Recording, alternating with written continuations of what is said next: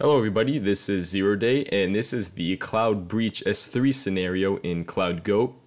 When starting the scenario, you were simply provided the EC2 server IP address that you must target and that's about it.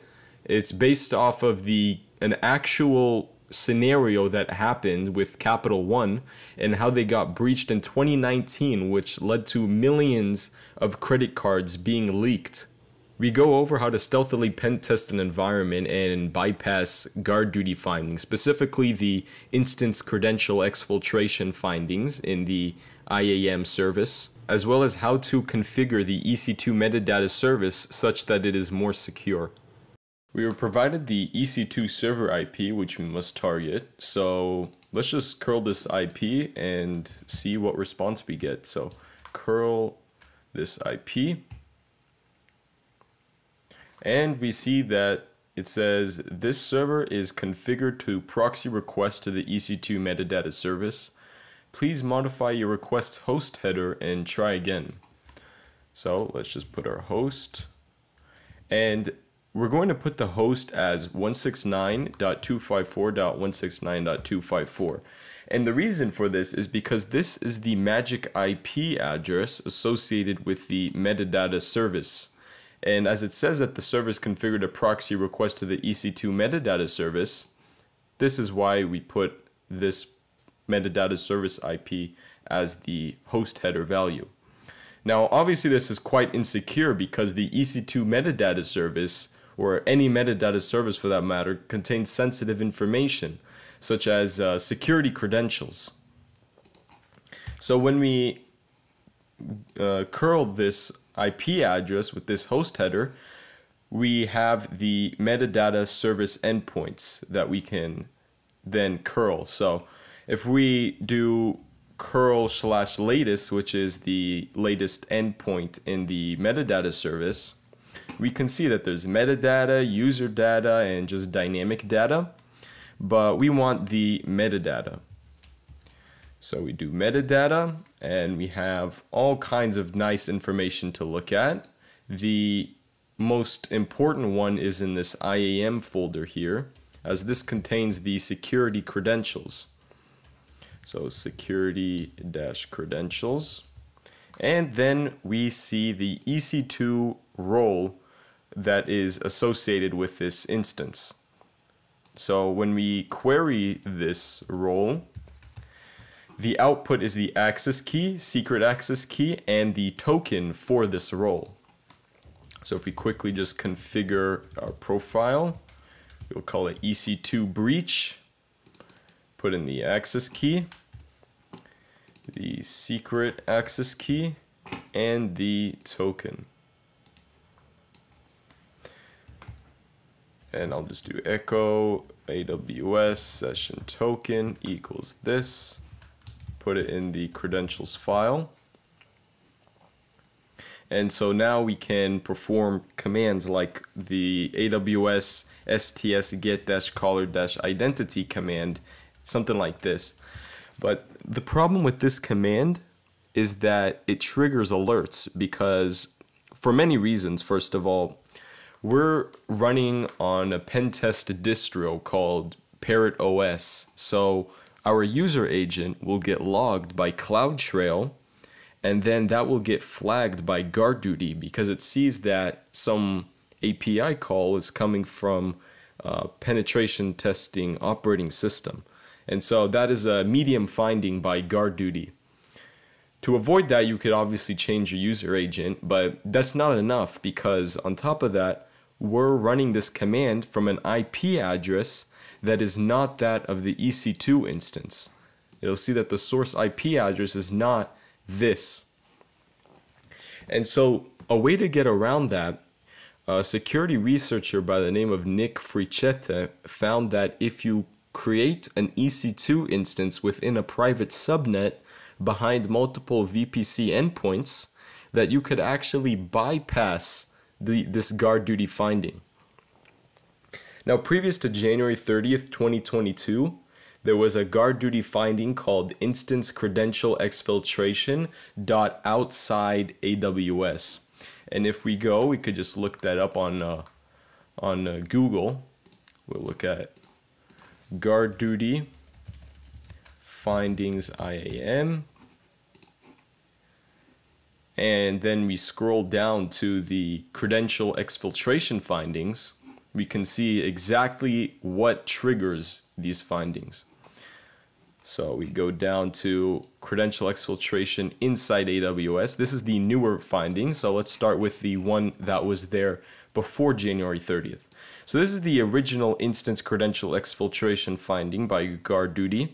And it states that this finding informs you that a host outside of AWS has attempted to run AWS API operations using temporary AWS credentials that were created on an EC2 instance in your AWS environment. So this finding gets triggered when it sees that an API call is coming from an IP address that is not owned by AWS. So what attackers did before January 30th is they simply spun up an EC2 instance within their own AWS account and only ran API calls from within that EC2 instance. That way, they were able to bypass this outside AWS finding. Once AWS found out about this, they created a new finding called Instance Credential Exfiltration inside AWS. It basically states that if an API call is coming from an a, from a source IP address that is owned by AWS but is not that of the EC2 instance that it came from, if it's not from this exact EC2 instance IP address, that you exfiltrated the credentials from, then it triggers that inside AWS finding. So the way to get around that is there's this tool called Sneaky Endpoints created by Nick Fricette.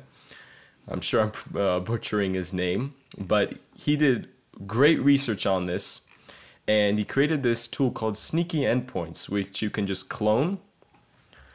Go, I put in opt sneaky endpoints and all you have to do is terraform init when you first uh, download this repository. And after you do that, you just type terraform apply. Now this takes a while, so I already ran it here. You see the, it outputs the instance ID, the EC2 instance ID, which you can connect to with AWS SSM start dash session,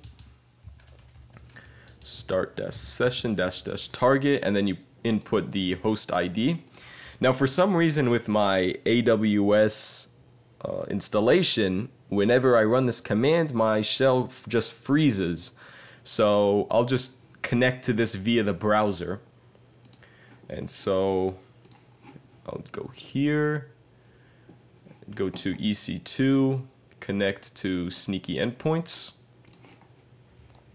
actions, connect, connect, and so this way we can connect to the EC2 instance via the browser. So I'll just type in bash really quick. And this is the internal IP address of the EC2 instance. Now something really cool about this is that if you look at the CloudTrail logs of the API calls coming from this EC2 instance, you will not see a public IP address. You'll actually just see the private IP address.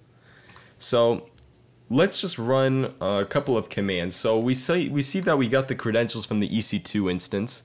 So now let's put these credentials into this EC2 instance. So call it EC2 breach. And let's just transfer over the credentials. I'll pause the video really quickly and put those in. Okay, so now that I put the credentials in, we can continue with our commands. So a lot of the times there is sensitive information in S3 buckets. So let's just enumerate that with AWS S3LS and provide the profile of EC2 breach. And we see there are a couple of buckets. These are the CloudTrail logs that I've configured in my own environment. Uh, these are the this is the sneaky endpoints bucket that you can use to transfer tools and whatever you would like into this EC2 instance. And this is the bucket created by the CloudGoat scenario. So let's just look at this. AWS S3LS and just put that in there. And we see nice juicy information with cardholder data, primary, secondary, corporate. A really cool thing that you could do is if you want to download multiple file, files recursively, you could just do AWS S3 copy and put the recursive flag at the end. And we downloaded all the files.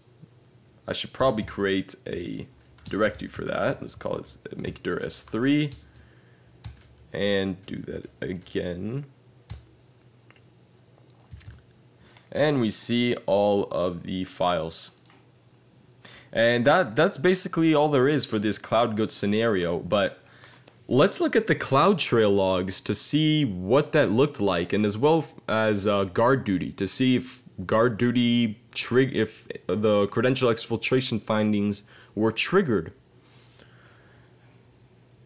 So if we look at CloudTrail, we'll go to our bucket here, our CloudTrail bucket.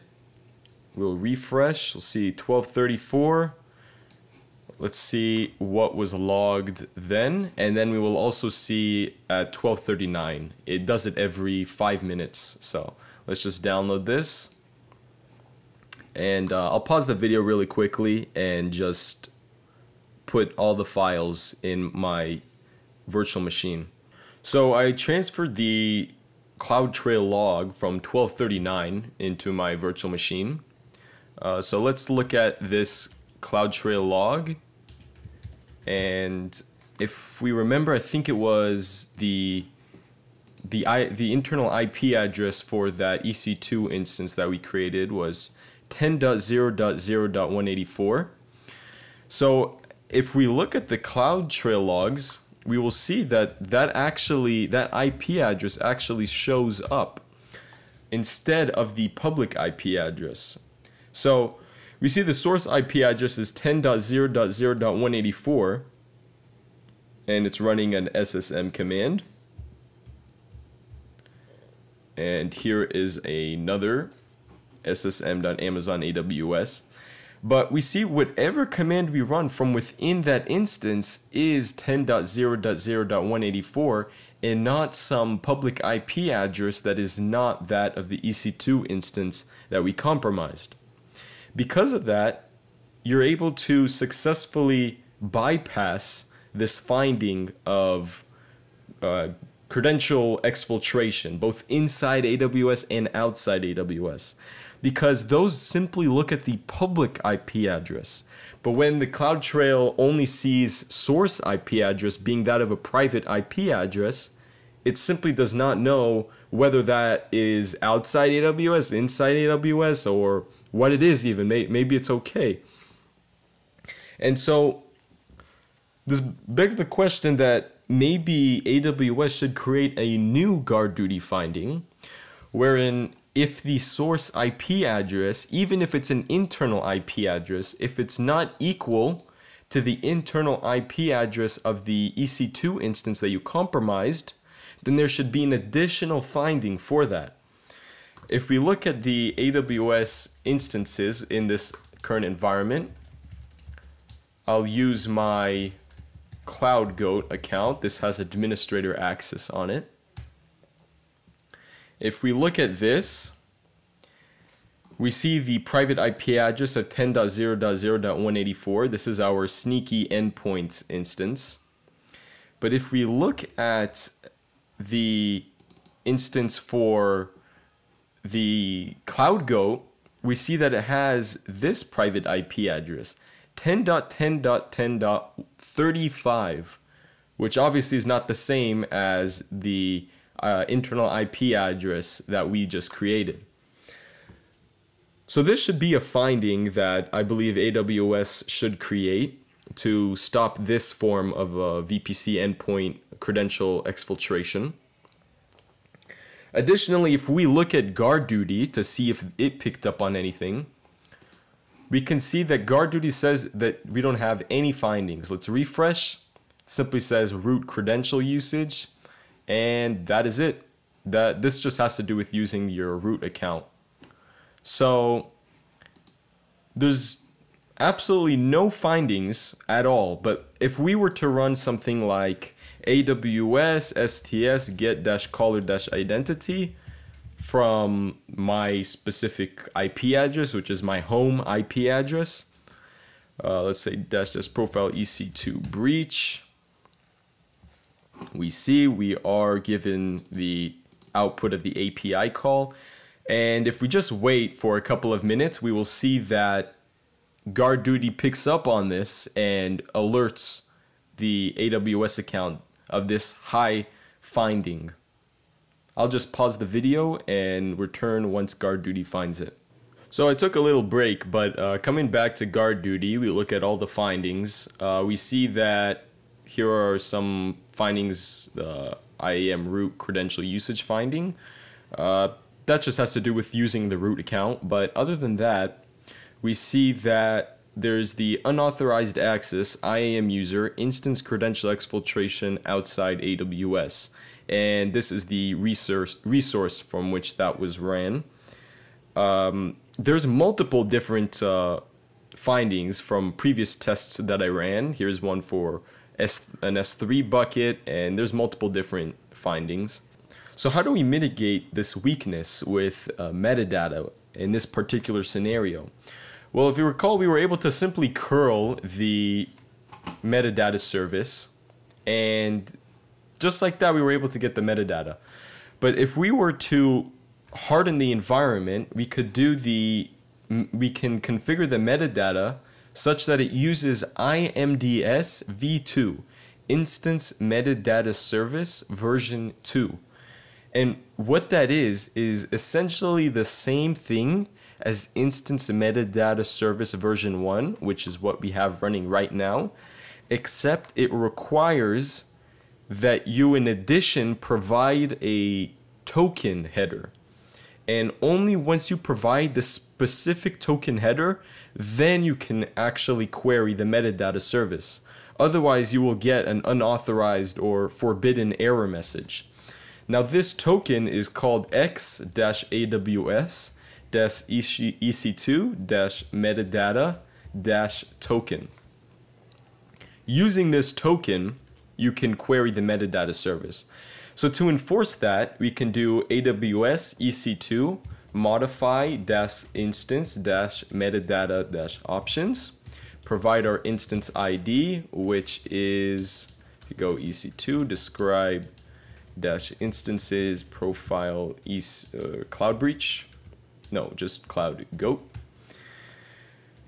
Um, and that, by the way, that was completely instant because I am running a tool called AWS CLion that simply ran this command from memory because it realized that it was a duplicate command that I ran before. I'll put a link to that in the description. So the instance ID was right here. Provide this instance ID and then we say HTTP dash tokens required and HTTP dash endpoint enabled. And before we run this, let's look at exactly what the metadata options are for this specific instance. So as we can see, it says HTTP tokens optional. It does not require the AWS EC2 metadata token. It says it's optional. So let's make it required and provide our profile of CloudGo, which has administrator access. And so now we made it required to use that metadata token. So if we run the same command of curling, we now get 401 unauthorized and we cannot query the metadata service without having this metadata token. So this is exactly what Azure and GCP has by default. Although there are API, there is an API endpoint in GCP that you can query called slash v1 beta. This is the original endpoint in the GCP environment. And if your client has this enabled, you should definitely check it out and make sure that it gets remediated. All EC2 instances that are at least publicly available should have IMDS v2 enabled.